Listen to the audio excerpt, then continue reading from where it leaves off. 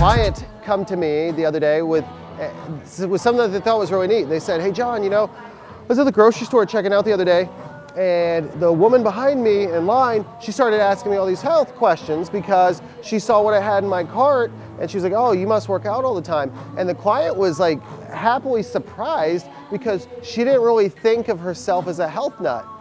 But what I thought that was really cool about that is that this is someone I've worked with for several years and they've made all these changes slow and steady over time. And they've made so many changes that when they're at the grocery store, someone else, a complete stranger, recognized all the healthy things that they were getting and the fact that it, the cart wasn't filled up with junk food and started asking them questions about it. I thought that was really neat because uh, the valuable lesson here that we can take away from it is a lot of change doesn't have to happen, happen overnight.